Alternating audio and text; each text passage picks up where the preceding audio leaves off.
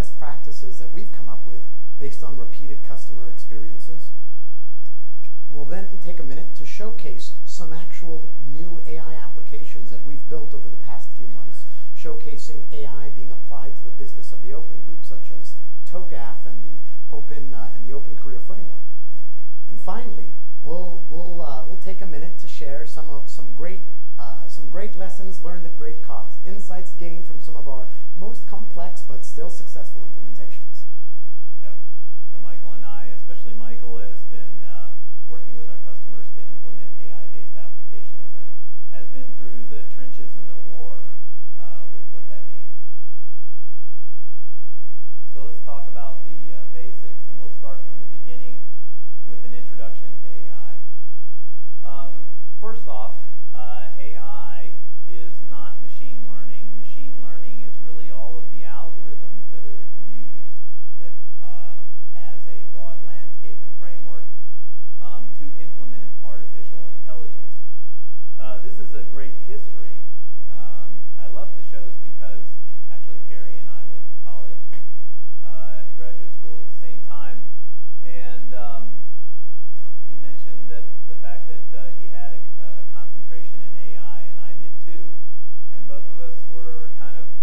talking about the fact that we went to school, got our degrees, and came out and you know crickets with respect to AI afterwards, right? No, no talk about it up until the last you know five, six, seven years, uh, maybe even when Watson won Jeopardy. Um, so uh, it, it, this is a great chart that shows kind of the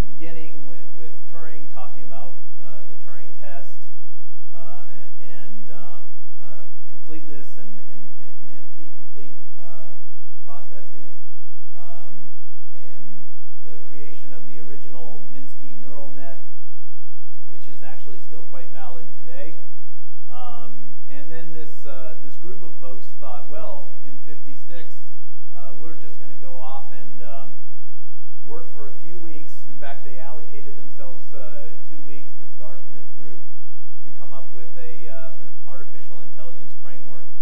I thought that was kind of um, interesting that they uh, gave themselves only two weeks to mimic human intelligence. But so they found it was a little bit more difficult.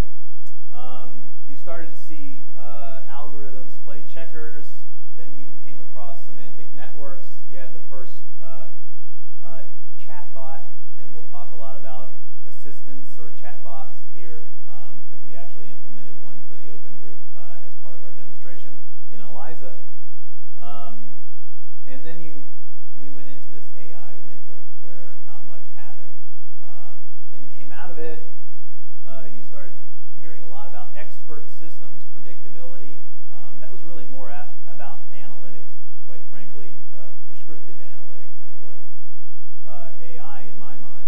And um, and then um, the second winter occurred up until the point where you and I went to school, and even then afterwards, not a whole lot.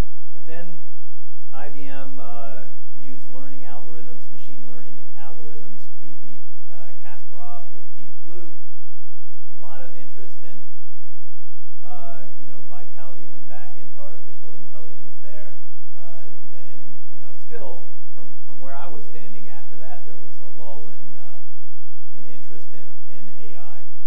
Um, and then the DARPA Grand Challenge uh, in uh, around the year 2000, actually, we started working on Watson and thought about what the grand challenge uh, might be. And they were sitting in a bar, and Jeopardy was on TV.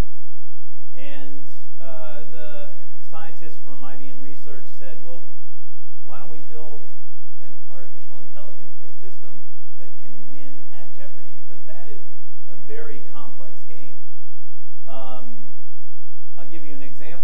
You know, one of the winning uh, categories was British television.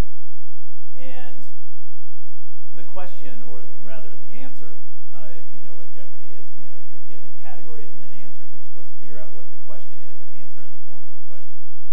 Uh, the answer was, uh, you know, this,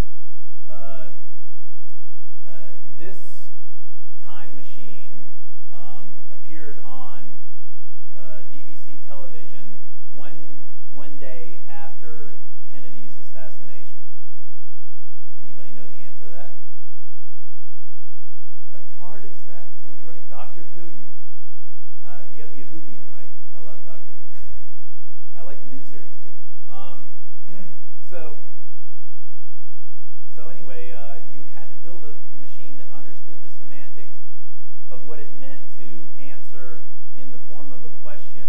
Uh, you had to build a machine that understood natural language processing and the contents, context, and the sentiment in order to actually win that game. And it took them, you know, quite a few years between the time they were at the bar and they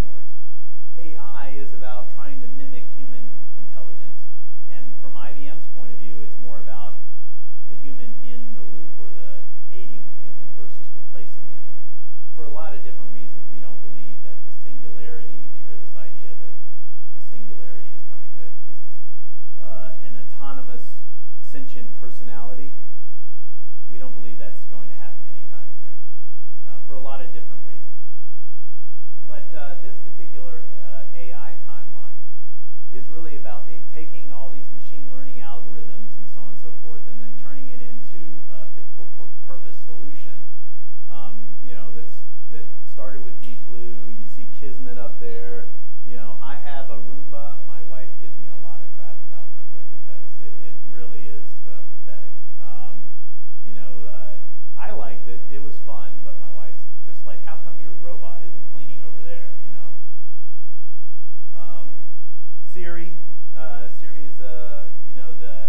chat, the front end of the chatbot really is what Siri is, and uh, back end uh, learning algorithms. Then you had Watson. You got the Eugene, the use of Alexa, which by the way um, is a series of frameworks. Some of them are AI, some of them are not. Uh, this uh, recently, I think Tay was in the news, right? She's making Southeast Asia tour right now. Oh, you may be thinking of Sophia, the robot. Sophia, okay, this so they look the same to me. Oh. Tay, Tay is an Tay. interesting example, though. I mean, Tay showcases what happens if you are optimistic about a system being able to learn from everything it sees. For those who don't know about Tay, Tay was an artificial intelligence chat system that people could interact with online. I think it was on Twitter. And the system was set up in a completely naive, completely impressionable mode. Basically, it learned from every single interaction. So humans being humans and humans behind keyboards being, you know, somewhat less than that, you ended up with a system that had learned a lot of really, really, shall we say, rude things. But though Tay is a fun example over social media and, and vulgarity, the lesson from Tay is still relevant to today. Any system you, you create that's based on AI learns from the data you give it. So in more complex examples, that quality of that data is going to be one of the most important things with your AI system, just as much, if not more so, than your algorithm itself. Right. So here's your,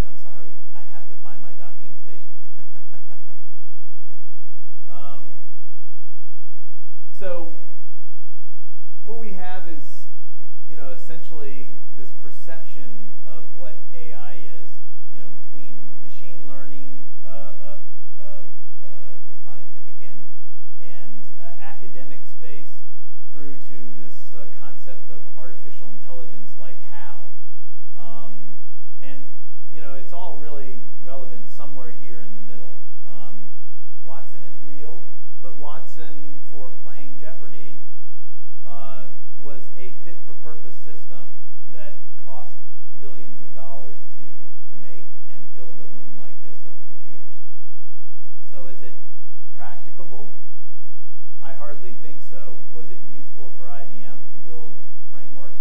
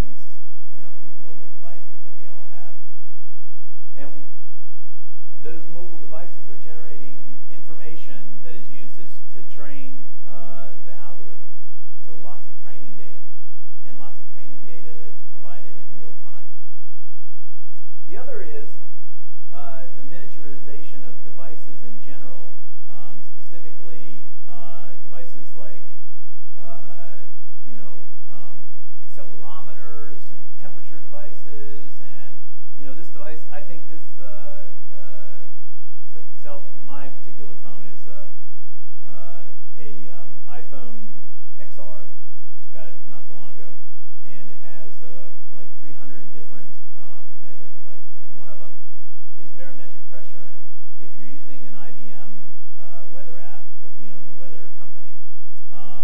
actually using you as a little weather station. It's part of the agreement for the EULA when you download the app. Your phone is taking barometric pressure, and we're pumping that data back into IBM and learning about what the local weather is like in your area. But I, I think it's important to, to recognize that you know we're not unique in doing that. No. There are other um, apps that likely everyone here uses about traffic of some kind. And when you use that traffic app and it tells you when you're going to get there, you find out mid route it lies to you, right? And it shows you you're going to get there 20 minutes later. That insight, that real time data insight, whether it's in Google, they, they use green, yellow, and red as a way to distinguish how, how much traffic there is. That's all user generated. And it's not obvious at first if you just use something like Google Maps. So if you use another app like Waze, Waze is all about user input. You are prompted, you are told, hey, there's traffic. Small kinds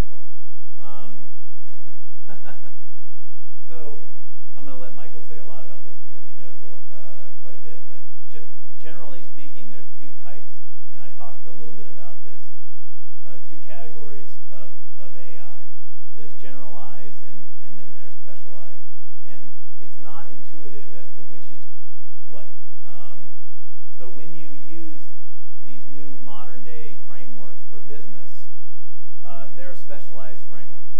A lot of the work has been done for you.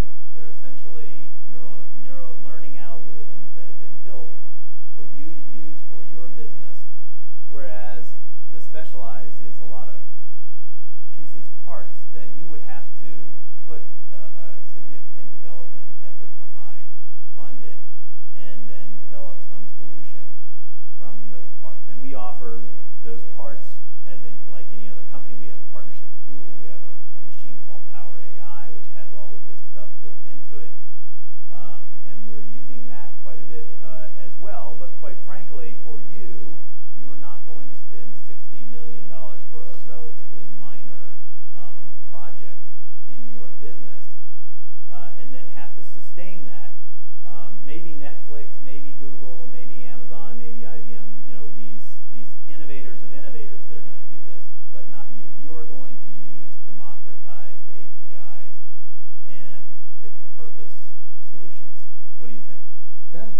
I I, really think it's, it's what you see in front of you here that is really responsible for the AI explosion that we see today. Um, on the right side, the general my right, your left, the general purpose AI frameworks are very powerful because they are a tool set. So if you have some problem that you want to apply AI to, and you have the time, the skills, the funding, or the desire to learn all, any of that, go crazy. And with those sets of frameworks, you could build a model to abstract any kind of problem, connect it, point it to your data, teach it how to understand your data, make your data good, curated well, and off you go.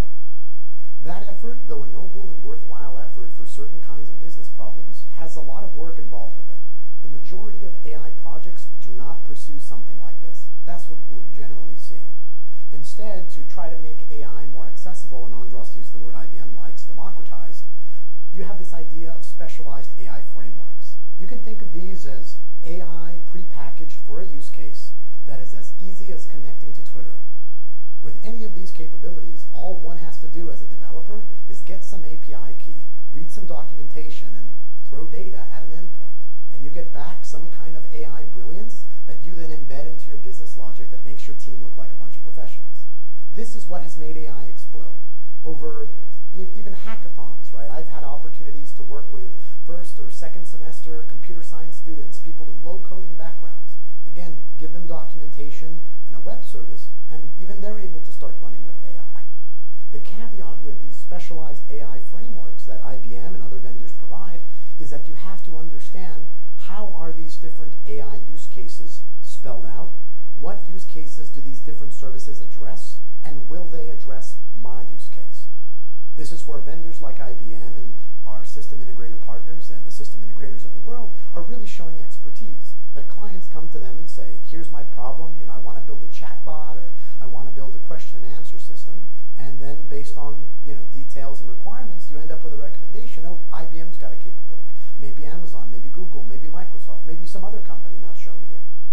But it's this ease of access that is really fueling the AI explosion and the innovation and the fact that everyone everywhere is doing AI something. Again, there's still goodness in the general purpose world, but the prerequisite of deep expertise such as you know, PhDs, machine learning, maybe even an AI background makes that not as common. I mean, if I'm to be candid, I don't have formalized machine learning AI training, but I've done a number of implementations with a number of clients thanks to many of the democratized capabilities of specialized AI. So this is where we see much of that action today. And, and I do, but I would say Michael is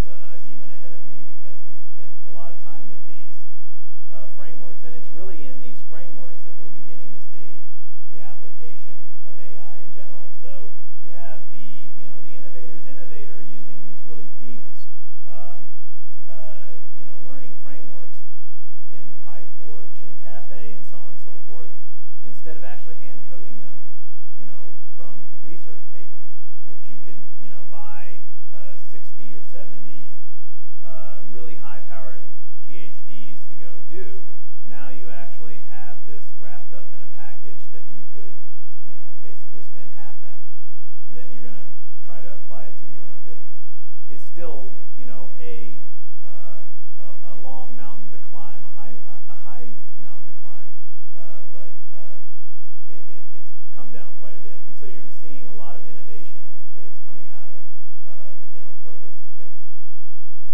specialized space, you know, traditionally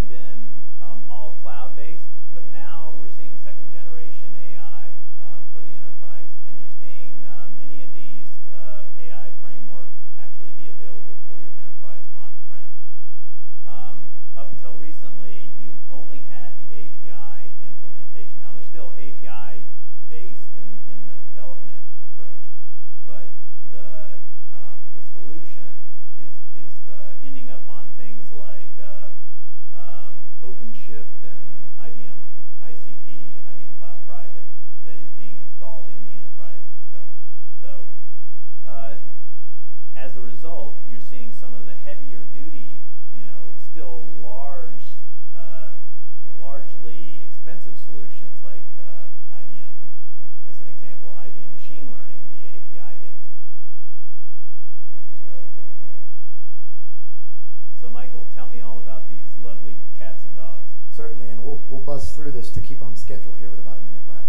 So when it comes to understanding machine learning, um, again, in this session, we're not going to give you a very deep explanation. There's plenty of great resources. We have two folks who've ousted themselves as having formalized education on it. But at a high level, you can think of learning as either supervised or unsupervised. In the case of supervised learning, you provide data to a system and you label it. In our example, because I love dogs, not so much cats, but they're tolerable, we bring a bunch of pictures of animals to I'm, a system. I'm the cat person. He is a cat person. We bring a bunch of pictures, and for every picture, we might label it dog or cat. Optionally, we might have another set that's called negative, and that's neither dogs nor cats, some lesser animal that's not fit to be a pet. As you give the system picture after picture, and you say, this is a dog, this is a cat, this is a dog, this is a cat, the system has a memory of what makes a dog and what makes a cat. Now, for this to be good, you want to use different types of dogs and different types of cats. That way, when you then submit to a system a new picture, it looks at it and says, do I think this is the thing you showed me that you called a dog? Do I think it's something that called a cat? Or do I think it's none of the above? This type of system takes advantage of some of the machine learning methods such as regression and classification. But all you really care about from a business standpoint is, is this a dog or is this a cat? I know amongst many of your clients and your own businesses, you likely can think of a few problems where you want to know what type of a thing is it. Very simple, basic problem. And so supervised learning can be used to do some of that. On the other side, we have unsupervised learning. And this is based on methods like clustering. In this case, you just throw all your pictures at the system and you do not give labels to your data. So you don't use the word dog or cat or not dog or not cat. You just throw the data and the system looks at the data, figures out, you know, what are the ways that this data can be related to itself and then Using creates clusters. established patterns. Yep, using established patterns, or it might infer them on its own based on the type of learning. And at the end of the day, you end up with, oh, these two cutie pie pops look very similar. I don't know why. Well, you know, I, they have fur, they have cute little button noses, right? I've got ideas. And by the way, these somewhat cute, mean-looking cats, they're all one other group. I know because they've got the pointy ears, they've got a very stern look, and they've got wide eyes. In this way, you know, we can teach the system the same thing, but by telling it explicitly, where we know the language we want and the outcome we want, or letting the system come to its own conclusion when we don't really know what are the patterns to be identified.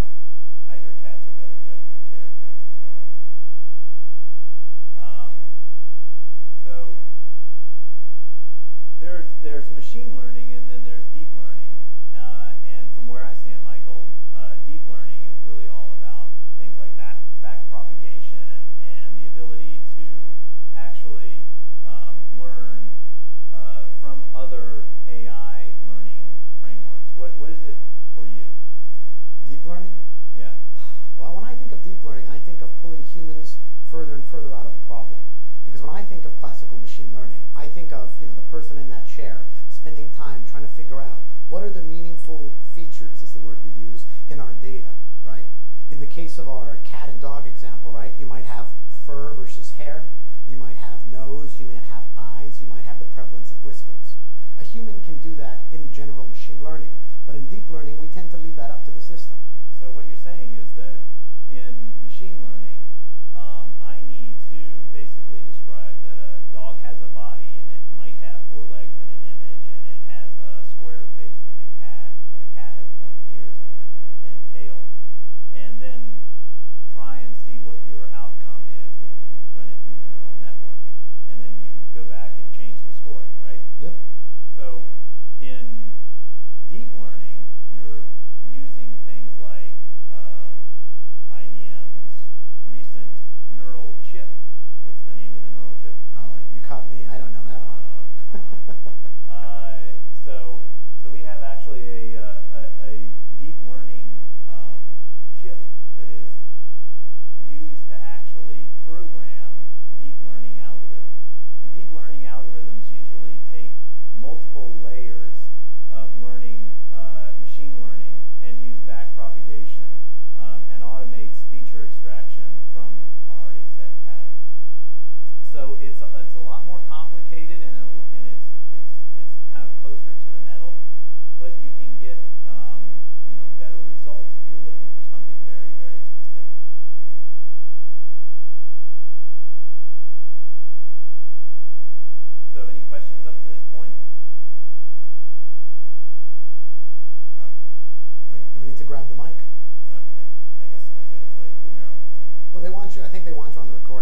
mic's right here. What? Ah, there it is. All right, and there we go. Got to get you for the people in the cheap seats. Go ahead. Yep. So two questions actually. Great presentation,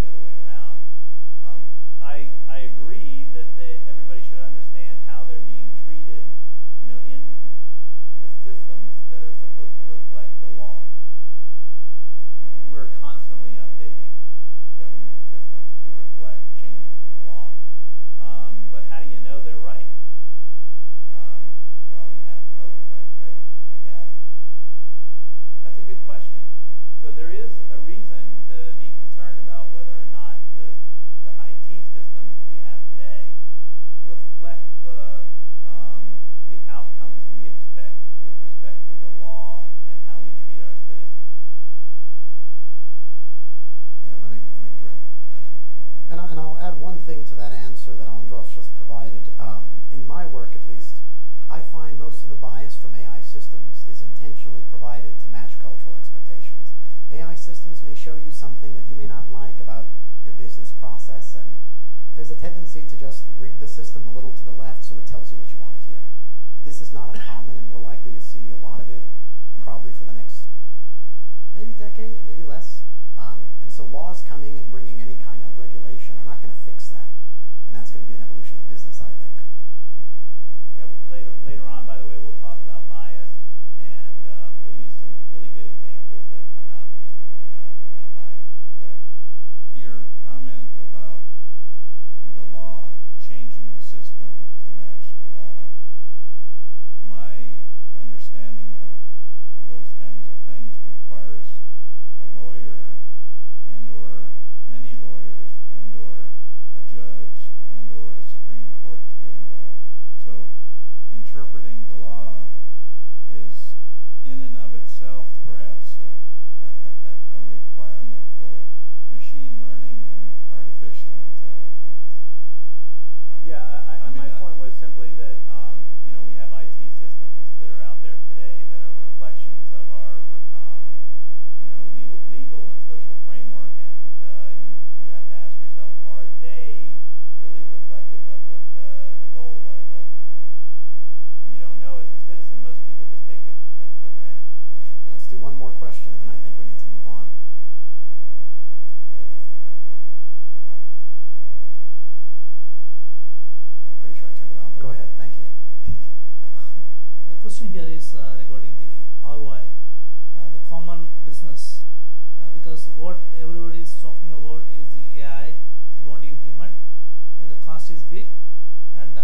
that's one of the scary stuff. Most of the society or the business for the SME, mainly the SME layer, they are not ready to take a call. But um, what is a call? What will be the transition is going to be happening? Like now, it's very much specific to some industries, as you mentioned. Uh, some of the industries still they are scared about that because the data of the volume data, what you are going to analyze, that is one of the counting. area. This one, it going to take bigger cost, and they are not ready to spend it. Uh, but again, uh, the everybody is going towards the digital transformations, and this is one of the AI is only the way we can able to materialize it. Uh, this is some gaps and the technology influence factors. Wh- Where is going to match the either party to have it one? The first question. Another one is on the the same questions regulations. As an individual, like Alexa and Google Assistants, uh, what what some, suddenly is what is happening? It's it's activated by the name. But if, if that is the case always is recording all the information that means is hearing us. What is the security is there?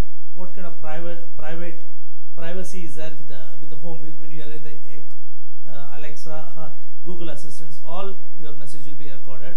Someone is using it for some other purpose. Uh, what kind of uh, that is one of the things maybe the regulator may be asking.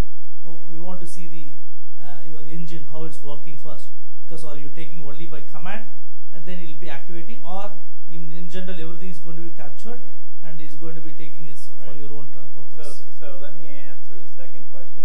Uh, is actually quite interesting. So, there are companies that are offering, um, you know, free online social services, uh, th- you know, free services in general that they're using to analyze your behavior with and resell the data.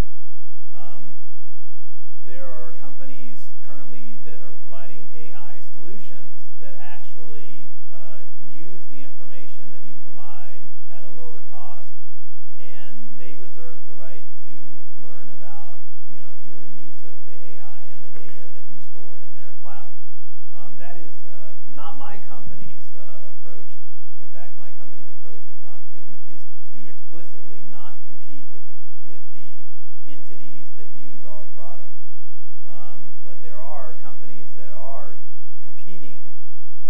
those companies that are using their AI frameworks, and so you have to be uh, cognizant about the implications of that, uh, and and uh, and ultimately what happens. What do you think, Michael? Yeah, I mean the, the saying's always been true, right? If um, if a service is provided to you for free, then you're not the customer, you're the product. And we know this in the case of our favorite email application and perhaps a few others.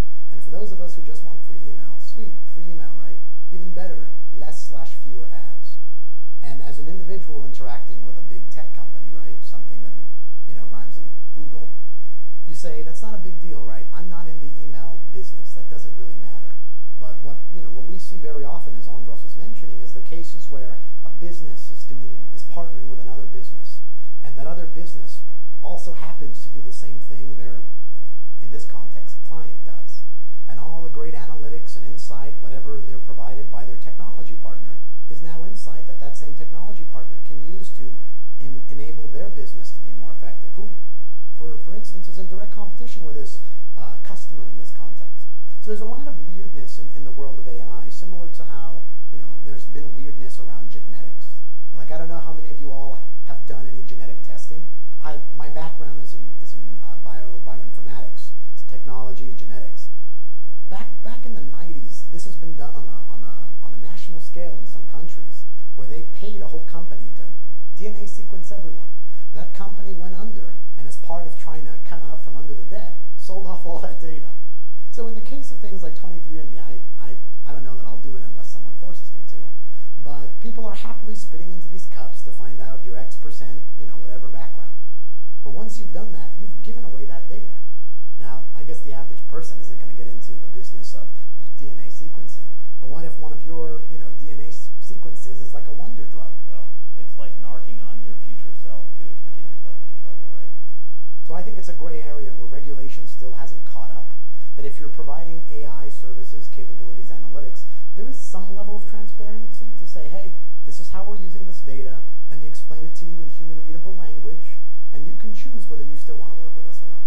Yeah. In some cases, you're okay if they read your email, and you don't mind because you're not competing.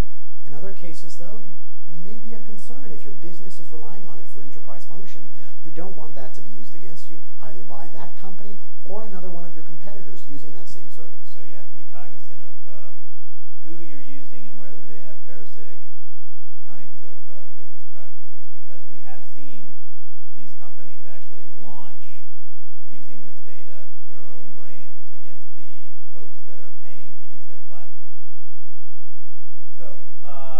well, should we continue on, or what? What do we Yeah, do? I'd say we should continue on. We're a little bit behind, but I think we'll make it out okay. All right. We'll talk about now incorporating AI into your business. Um, we're going to talk a little bit about the human in the middle. How much uh, work should AI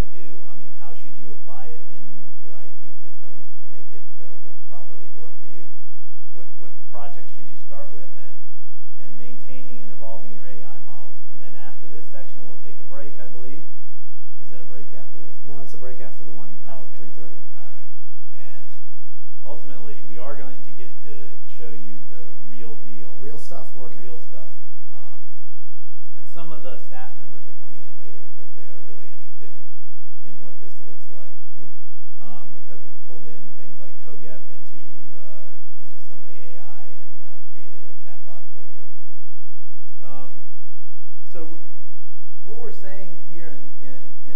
uh, generally speaking, is that if you are a business or organization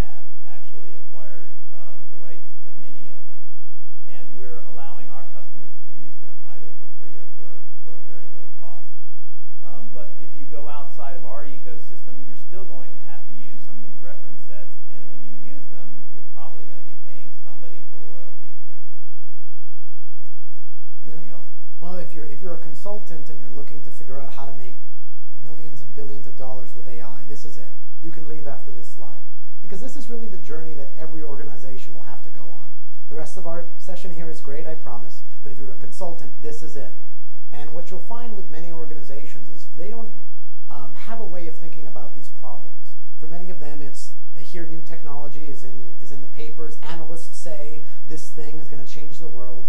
They hire a guy or pay someone to talk about how great this thing is. Maybe spend some money and do a project and then move on. In the case of AI, this has to be something that you prepare for and something that you build foundations to. So Andras talked about knowing your data. We'll go into detail what that looks like later. Understanding what's your relevant data. Again, you can have all the data in the world, but if you don't know which parts you care about, you can't really design an effective system around it. And we see this going all the way up to establishing trust in systems. Most people that have AI right now, they trust that the answers are good enough, but they don't really have a way to explain or justify it. Earlier today, we heard someone assert that it's okay if a system does something and humans don't get it. I, I strongly disagree with that. And there are companies like IBM and others that are, have designed capabilities to help you understand what are the biases in your data. Because bias isn't inherently wrong, but you have to understand what the bias is to make the assertion that your AI is not unethical. Yeah, we're going to talk a little bit more about this later on too. Um, but an AI system has a different maintenance life cycle than your IT system. So you're going to have to have the skills to be able to manage that AI system. That that is somebody watching the training and constantly watching over the learning process. And you're going to have to so that means there's going to be somebody who's representing the business who understands where the business is going to make sure that the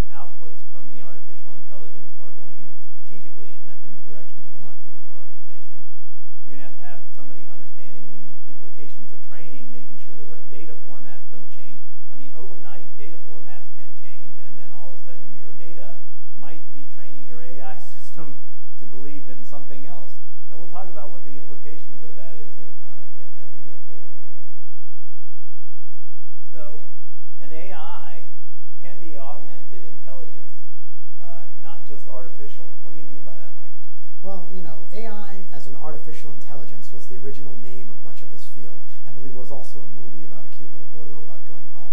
But what IBM has found after actually applying AI, it makes more sense as augmented. You know, there are some people who are brilliant who wonder and worry that AI computers will replace humans at some point. But we still believe in the value of having a human individual, partially because it eases the complexity of ethical dilemmas. Like if the AI told me I should punch him and then I opted to follow through and punch him, that's still on me. That's not the AI system's fault. But if we had a robot here and the AI said to punch him and the robot punched him, then we have some complex moral dilemma. This accounts for, uh, this helps account for errors in your AI. You know, I might look at the AI's analysis and say, I shouldn't punch this guy. He's a cool guy and he, lo- he knows a lot and we work together. That's a really dumb idea. I can then correct the training data. So we see humans being a part of these processes as something critical. Because as a human being, I can see that data that comes out, I can see the recommendation, I can understand why, and then make an assertion of, is this surprising to me? Is there something about him I didn't know that says, oh man, he really needs one? Or is this genuinely an error in the system? Yeah. This is where I think many businesses are going to have real eureka moments. Also, too, Michael, don't forget that in many of the AI systems that we're building, we're putting the end user uh, in the place of helping train the system. So the end Yeah. user, if they are, you know, if they notice that the chatbot is off, Yeah. can actually give some really good feedback to us, and we'll show you how that works. That tells us that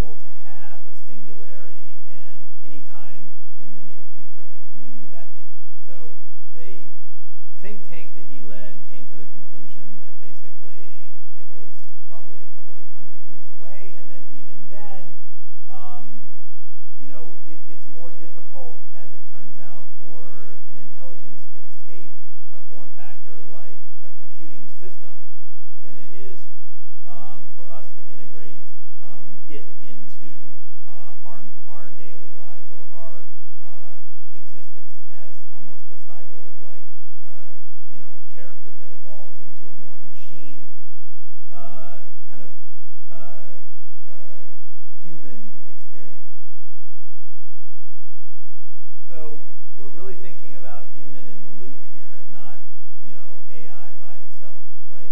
Yeah, I mean that that's essential as mentioned, right? Because the AI system may make a suggestion that is a horrible, horrible idea, and the AI system may make a suggestion that feels wrong, but when a human takes a look, they realize it's the right idea. And again, at times, the AI may make a suggestion that is fueled by the data, but that may need to be adjusted for cultural expectation, whether that's within the, the society or within the business alone. Human in the loop makes all of that much, much easier. And we see that as probably the way of the future for likely Quite some at- time. quite some time, right? Yeah. Uh, so there, there are, we have seen some customers who come to us, um, especially on the fintech side, Yep. and they say, you know, what we're looking for is a predictive model uh, that tells us when there's going to be a next or something just crazy like this. And then they give us uh, their data, and the, there's a lot of, you know, uh, craziness in this. Like, for example, all of these financial institutions have analysts. All the analysts write uh, basically reports in different formats, um, in unstructured uh, un- format, usually that ends up in a PDF. Uh, and each one has their own way of characterizing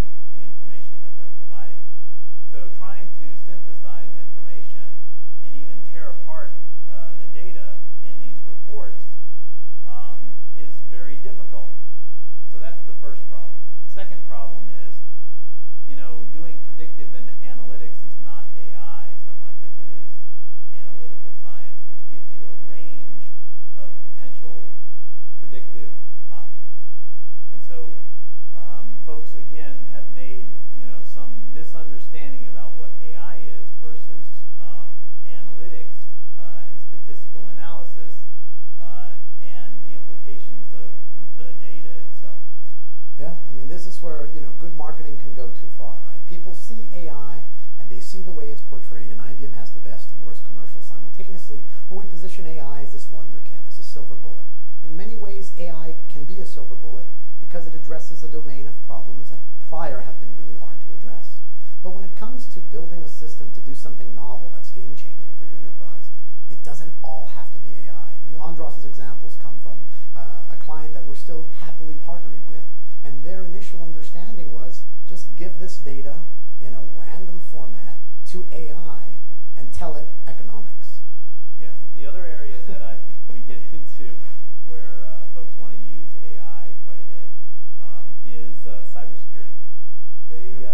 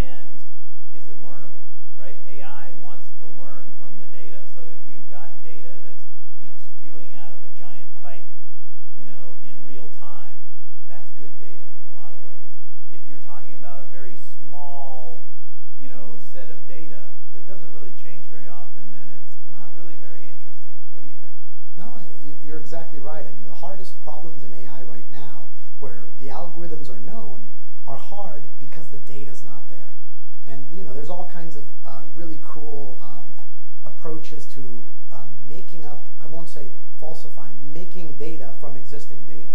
We call it data synthesis. It's a better word than lying. It's where you take whatever you have and modify it to better represent reality. Because the you know the the reality of the world is him and I can work together over several months and create a great chatbot that says great things. But we don't know what any of you are going to ask. We can come up with a hundred ways to say what is the open group, and I bet someone in this room or someone in in this conference is likely to come up with a hundred and one way that we didn't think of that is nothing like our other hundred ways. So the AI still misses it. And that's just the reality of things. So when you have a lot of data, that gives you some greater semblance of having a better system early on. Probably back- the core of your business. Probably, right. Yeah. So uh, tell us about this chart. I mean, there's lots of different um, roles that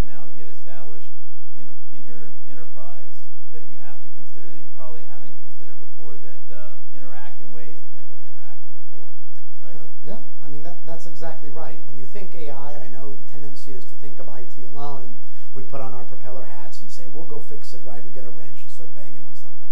But the reality is, this problem, this domain, is is is very unique in terms of the groups that have to come together. I mean, at the core, you have. I, I would say at the core, you know, I like this chart mostly, but at the core is some business process owner. That's my take on it. You have someone that has a need. They have something that they're trying to do, and there's an opportunity to do it better, right? Maybe they have to write, read a, a hundred documents every month, and that takes a lot of their time. Maybe they have to write minutes every week, and that takes a lot of their time. And they have this great idea that if only they could have a system that could do some of that work, they could do greater things. They could focus on the harder problems.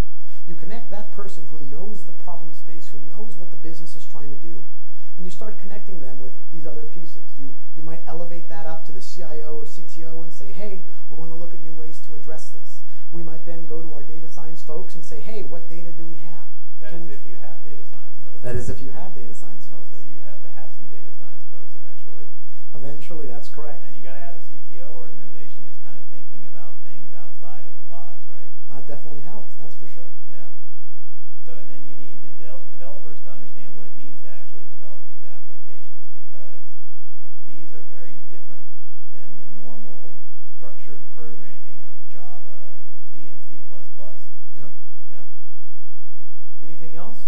you've got your ops for AI piece, right? So we, so we talk about data, we talk about, you know, your data scientists can say, here's the data we have, here's a way we think we can build a model around it. Andras mentioned the app developers who build the pretty front end that does the thing that connects you to the AI. But then separate from that, you have this ops for AI piece. And this is perhaps one of the most critical pieces in this whole picture. And these are your, your doctors, your nurses, your caretakers of your AI system. I mean, I don't, I don't like to call it children, but think of it like a pet. You have to care and feed it. You have to occasionally ask it to sit, to stand, to roll over, and you have to validate that it's doing the thing you expect it to do in the way that you expect it to do it. Because those developers are off on a new project, right? These are guys that are watching things operationally, right? Oh yeah, and and the beauty of it, at least for some vendors, IBM, I give us credit as being one of them. These systems exist in a loose coupling. So if your AI folks decide that they need to pivot because the business process realizes, you know, the business is going in a new direction, that can all be done in your wonderful new front end that looks pretty and renders on phones nicely. That remains relevant. You might need a few tweaks here and there if things go change significantly, but generally it remains stable. And we see that as important because this AI model, you might have a nice little mobile website, you might have a big enterprise application, you might have a reporting system, and all of those different applications may use the same underlying AI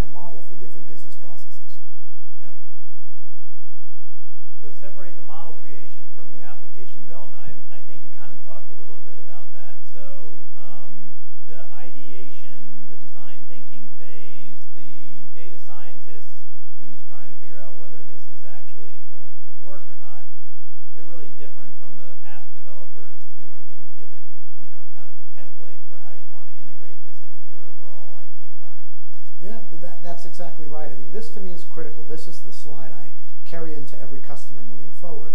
Because when they think of an AI system being created, they want to call it software. They say, yep, you'll write it. You'll have your Java guy sitting next to your AI guy and, or gal, and they'll, they'll do it, and they'll be done. But the reality is the AI work, frankly, kind of never ends, and that's not a bad thing. At the same time, you likely want your AI model, your AI part of the system, to be ready a little earlier than your. Because in the process of building AI, you always learn something. And you might realize that you characterized your business problem in a way that doesn't really make sense for the AI system you're trying to build. And what you don't want to do is have a finished, beautiful front-end application that then is built on an understanding that's dated of your AI model. Because that might include some rework. So, Michael,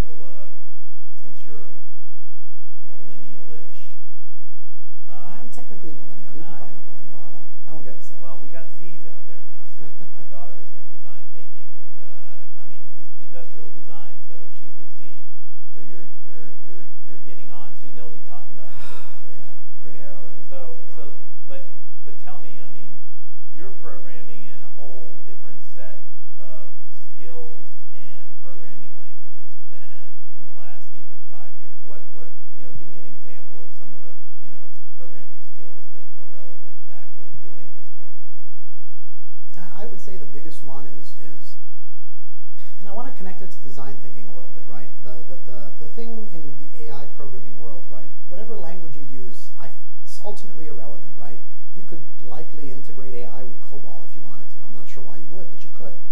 Where the new set of skills that's required here, and, and customer by customer will have a different opinion about who owns these skills. It's going to be around understanding how to look at a business problem and determine what kind of AI system you want to create for that, and understanding how to tweak and shape the AI model to fit. Because even if you're on the far left, again, my left, your right, of specialized systems that have an API, you pull an API key, you throw data, you get, you know, insight back, there's still expertise required to say, how do I go from natural language understanding to a meaningful application like a chatbot? How do, how do I do that abstraction down to something the AI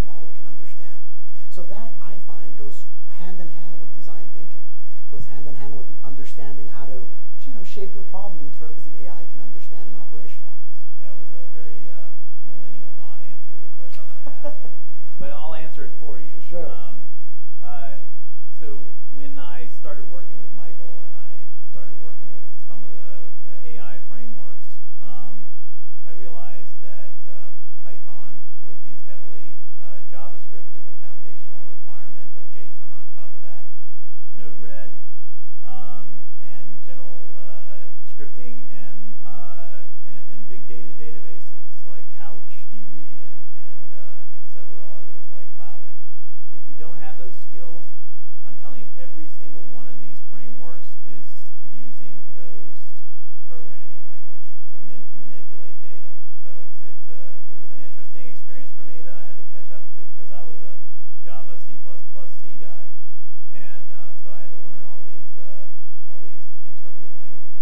fair, you can still use Java. We even support it as an SDK. I know, but that's not what you see the most of uh, you know folks That's using. fair. So we're back to another qu- uh, Q and A period. How much time we got? We got 28 minutes before the break, so we're behind by quite a bit. All right. Well, um, we'll take a question. There we go. ahead.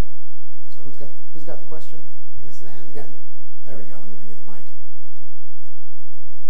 There you go. Thank you.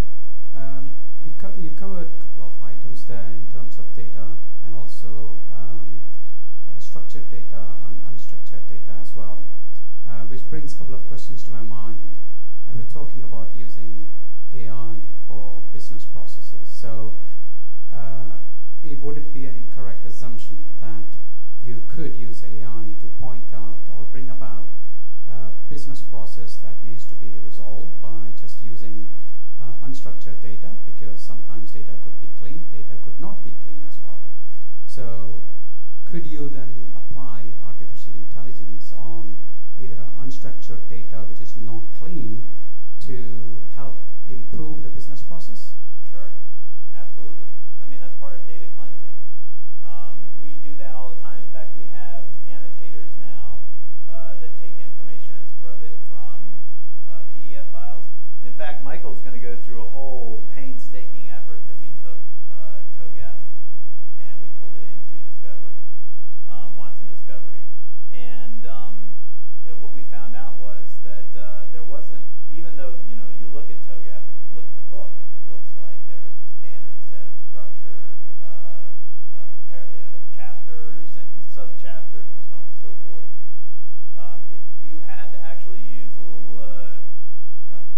exponential data wrangling uh, cleansing skills to figure out you know where a chapter began and, and a se- section header and a, and a different uh, sub subtypes so that you could actually categorize those and feed it into Watson because otherwise um, you just get this giant blob of text and it, and it becomes uh, non-context sensitive if I guess that's the right Yeah, I mean, you know, human readable is not necessarily machine readable, and we've known this for quite some time. But the reality is, some of the great sources of insight to feed AI systems, and it's to the point where companies like IBM have created products around this, take advantage of data in forms that we never really built for anything other than people. So they just needed to look Yep, nice. That's right. So we'll, we'll show in one of our examples how even some of the great open standards that are out there were built for human consumption. And so putting them into a computer system is a little tricky because they represent combined human expertise. There's no single database of TOGAF because TOGAF is a complex thing, a lot of great insight, ideas, and guidance. So we'll show a little bit about the process and show you the end result of the kind of systems you have and kind of value they can provide. Yep. All right. We're gonna take a break. Uh, no, one more. We do three, and then the break is uh, Okay, never mind, 3.30. Then we just keep going. So we've got 15 minutes until the break. Implementation best practices. All right. So uh, it starts with data. We talked a little bit. Maybe we can. Maybe We can probably zip through this as a about, speed uh, round, Evaluate sure. a continuum of problems, handling uh, easy AI, uh, and addressing harder ones. Um, so, so this is this is my uh, favorite uh, slide. His least favorite slide. 'cause I've just heard this story a few times. so my son, um, uh, we we live in a neighborhood where there is a grocery store chain called Harris Teeter, and when he was very young, uh, three or so years old, um, you know, we said we were going to Harris Teeter, and he goes, "Oh, we're going to Harris Teeter Totter," and we were like, "Yeah, that's that's a great name for that grocery store. We'll just call that Harris Teeter Totter from now on out." And we and my wife would go, "Hey, I'm going over to Harris Teeter Totter," and I'm like, "Yeah."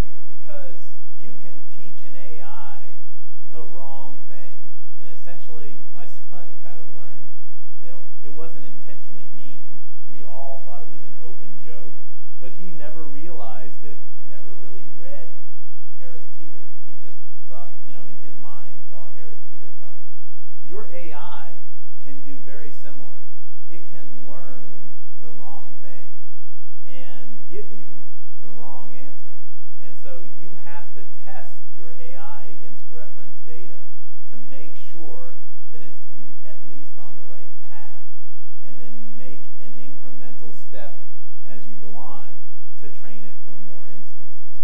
Michael, do you have anything to Oh, say? the critical assumption in what you've just shared is reference data. This is why in that nice ladder, right, the consultancy cheat sheet, the foundation is having your data. If you don't really have a reference data set of whatever you're trying to characterize, this becomes super hard. If none of the Harris Teeters had any kind of signage, his son would still be calling it Harris Teeter Totter. It would be the world's longest lived open joke. So without reference data, right, without having a sense of what's happening in your business and what's the data that says, yes, this just happened, AI becomes a much harder problem because you don't know if you're right or not. Hence why we think it starts with the data. Without the data, there can really be no AI that's central to your business beyond simple solved problems like visual recognition of a car or you know um, natural language processing based on maybe an existing model like the one in IBM Watson or other vendors. So if you want to create something super customized to your enterprise, you'll need to have that data available. Otherwise, it's I don't I don't want to say impossible, but it's probably close to that. or you're going to have to acquire it from somebody. Right. Yeah. All right, so you got to know your data too. Right. That means you have to actually have some, you know, map or data governance uh, to understand what data you have, and and that's really back to EA, right? Because without the data continuum in EA, then you don't really have an idea of of what data your enterprise has and what structure it's in. So that's going to be kind of a starting point. You know, who's the data scientist or the DBA or the data team that owns your data repository? Right, and if you again another consultancy pro tip, if you want to really seem like a like a sweet expert, and your client says we want to get a sense of the data they have, many of the AI ideas aren't connected to the availability of data. But if you look at the existing data set and say, here's what we have, here's what we think it will tell us, then you have a basis to start figuring out, you know, what might be a reasonable project. Like if I want to understand how people feel about me based on the text they send after we go out on lunch, I have no way of solving that because I'm not a government agency with text from everyone's phones. If, however, it was in a group chat and I wanted to see, you know, what the group chat was talking about and how they felt, if I'm in that group chat, I can download all those texts and I can do analysis on sentiment of the group around, you know, different topics. But it, it's all about the data you have. So before you come up with some crazy idea, figure out, do I have data that supports it or can I buy data that supports it? Can I get rights to it, as Andras mentioned? And is it annotated? All right.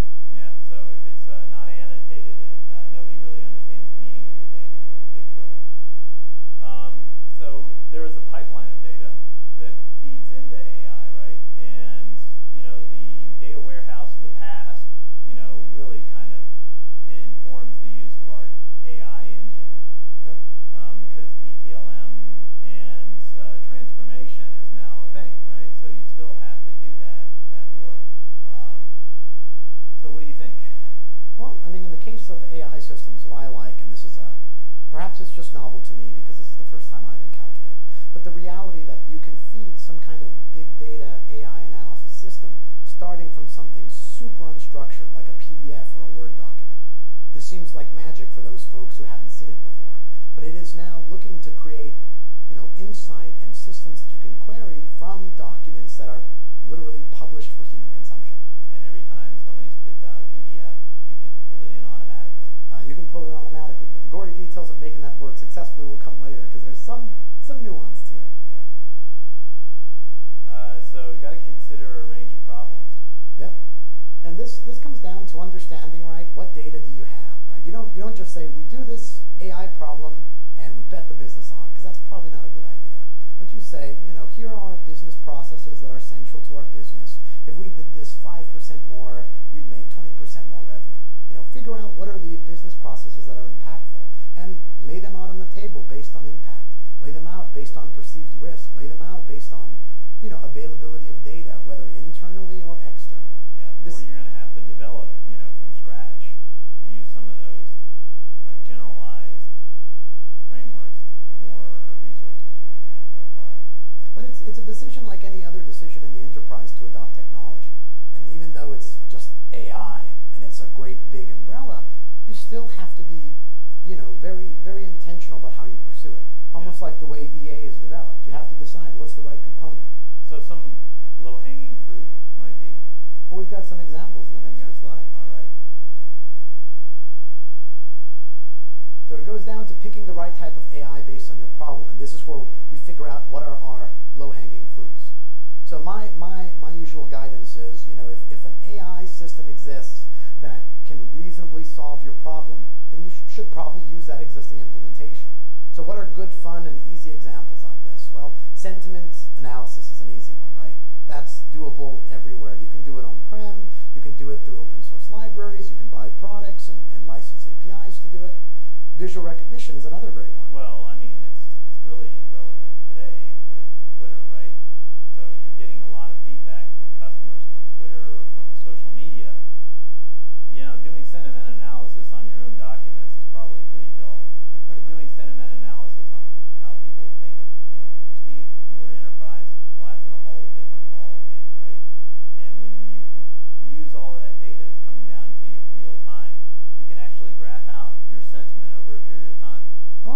And with, with AI systems where they are today, even on the super specialized out-of-the-box stuff, they can even give you a finer level of granularity. They won't just say that he was really upset about something. They'll say he was really upset and he mentioned this AI session by two guys from IBM. Must have not been a very good session. Then you have insight. Let's not repeat that session. It's that level of insight that's really valuable because it's not enough to just know that someone hated your product or hated the experience. You want to know what they didn't likely you want to know that has that person have a pattern of criticizing things, right? Did the person who bombed on this session also bomb on literally every other session they talked about? If that's the case, then maybe you might not weight everything they say as much. Versus if someone else who's been loving Open Group for years had an open critique after being an avid supporter, that might be a data point that you might consider a little more closely. you know, uh, the world's leaders, uh, they speak on an on, almost ongoing, everyday basis, and you can take sentiment analysis from, you know, what they say, and infer, you know, what might happen. And this is something that uh, governments are actually using AI for. So you can tell whether or not you're about to get into a uh, a scrum with another company uh, or country. Sorry. Um, you know, because of the tone of the leader and how it escalates over a period of time. Subtleties that you, Michael, probably wouldn't understand. Well, there's a, there's another AI fun does. Another fun example. One of our other colleagues at IBM, another uh, distinguished engineer and one of my first mentors at the company, uh, she she wrote an application that would do a tone check for all of her emails because she had gotten the feedback multiple times that she came off a bit critical. And so now she's got a system that will analyze the tone of her outgoing email so she can determine is this appropriately toned for my intent. And again, that wasn't a very huge lift or a hard application to create. But she understood the need. She recognized that she wanted to align her tone to her intent and to her audience, and she was able to do that. You know, another low-hanging fruit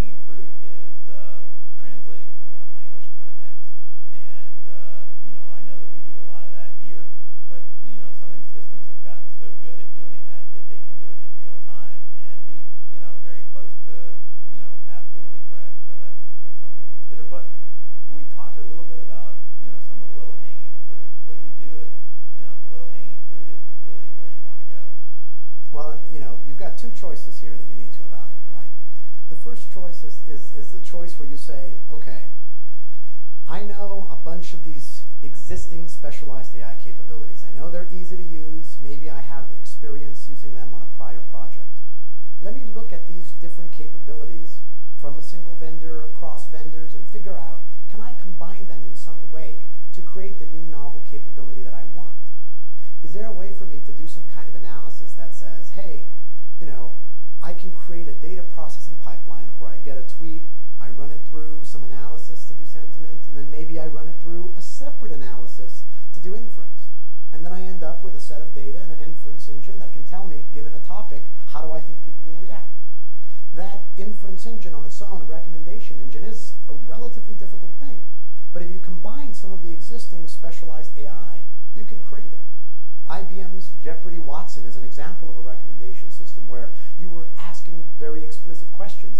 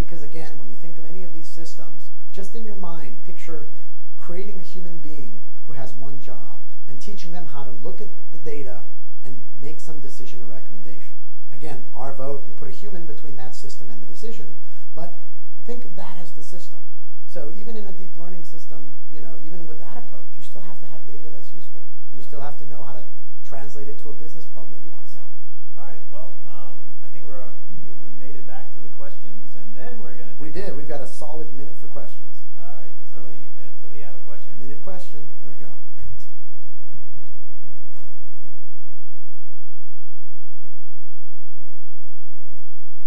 Again, thank you very much. Uh, uh, uh, pretty much uh, so many things are happening here.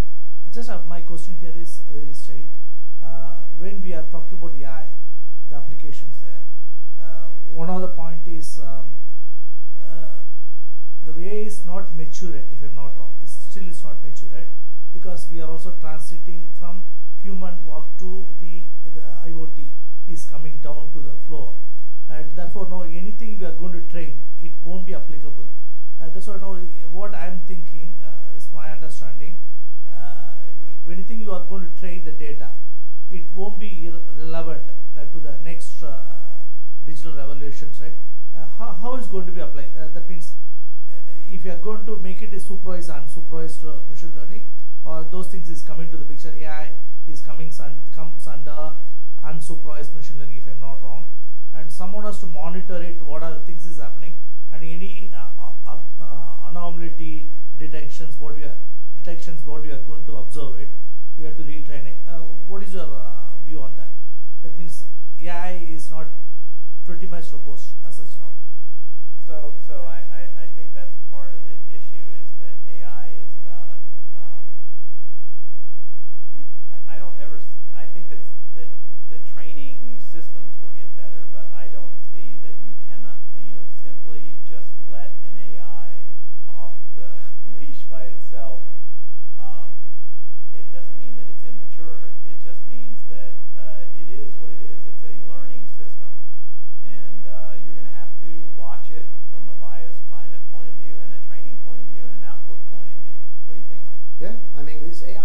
Also provide a window into our own souls, right? It gives you as a business an opportunity to understand what might you be missing today. And where, where I say there's immaturity in my client engagements is the ability to accept that criticism. Or I've had systems that I've designed and, and led development of that provide an answer that the organization says is not correct. And you know, I've stood in front like a PhD making the case for the AI that this is very much the correct answer, but the business said not the way we think. Yeah. And so we put the blinders on, and the system now says the right answer based on their expectation. To me, that's the greatest immaturity: is that many organizations that say they're data driven are only in data driven insofar as they understand the data, and As they may not be ready. goes. Right, as far as their enterprise culture